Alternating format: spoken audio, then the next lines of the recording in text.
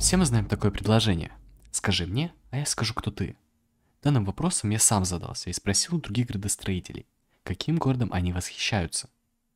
Нейв – Киевом и Никоградом. Не Алекс – Санкт-Петербургом и Москвой. Ну так к чему этот вопрос? Можете посмотреть на Манинск. На какой город он похож?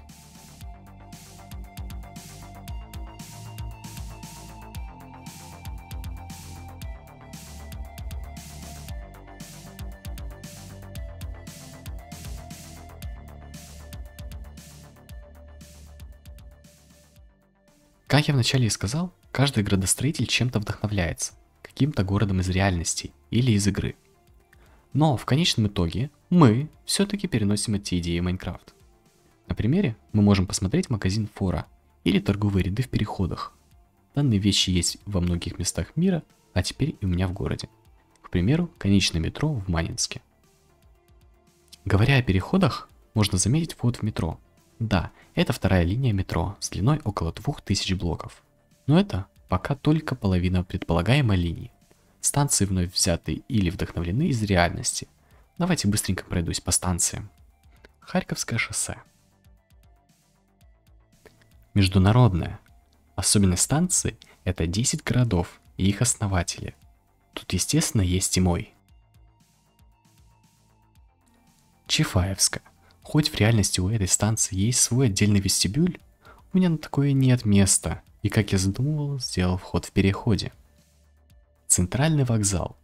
Переход на одноименной станции первой и третьей линии метро. Если вы заметили, у меня многое улучшилось.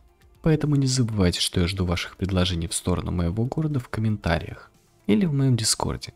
Так мы делаем его намного красивее. Район, называемый Илинским, увеличился так раза в 4. Если посмотреть, то тут присутствуют новые панельные здания и новый для меня тип планировки дворов. Если посмотреть на прошлое, то там во дворах очень мало места, как тут его переизбыток. Впервые я начал использовать мусорки у домов, чтобы люди могли выносить мусор у своего дома. Я их в скором времени расставлю по всему городу, а пока они находятся только в этом районе – также у домов находятся советские детские площадки и огромные гаражные кооперативы. Это первый в городе СТО. Думаю, потом таких станет значительно больше, так как у меня еще большая часть города довольно пустая. Говоря о атмосфере, я ее решил улучшить при помощи декорирования, а именно кастомных деревьев и автомобилей, которые я скопировал и оставил рандомно по дворам. Продолжением района можно считать и этот частный сектор. Данное место очень затратное по времени – Тут не просто откопировать здание и добавить дворы, а еще и добавить декора. И плюс к этому, то, что сам район находится на возвышении, где в целом очень трудно что-то адекватно вставить. Поэтому тут находится данный тип района. Вы могли задаться вопросом, почему серия так долго не выходит? Ведь между шестой и седьмой серией всего две недели, а тут полтора месяца. Причин много, но расскажу основные три. Первое – это вышло CS2. Так, а надграф появился, интересно, или как им пользоваться? Hello, guys. Hello, guys. Второе, вышел ивент «Школа». И третье, это увеличенное количество декора в городе. В Харьковском районе не особо много новых зданий. Тут всего добавлен один микрорайон из четырех этажек, у которых присутствуют дворы, гаражи, трансформаторы. В целом, по моему мнению, тут очень уютно. Теперь перейдем к отдельным зданиям. Управление метрополитена и полиции. Здание состоит из трех корпусов, где два – это метрополитен, а третий – полиция. Здесь происходит основное управление всем метрополитеном. На каждом этаже присутствует кухня и офисы, а на последнем этаже еще и диспетчерская. Поговорим о Боге. Так как мы находимся в густонаселенном районе города, тут естественно должна быть церковь. Тут присутствует памятник Христа Искупителя. Естественно, Майнск хоть и город в Майнкрафт, но я строю его больше под реальный концепт города, и поэтому я построил пожарную часть, где есть диспетчерская, комната отдыха, которая отдельно вентилируемая, столовая, тренажерный зал, класс и гараж с пожарными авто. Теннисный корт находится напротив церкви. Тут присутствует целых три поля, где можно поиграть в теннис. Торговый центр и базар находятся у трамвайного кольца между Харьковским и Илинским районами.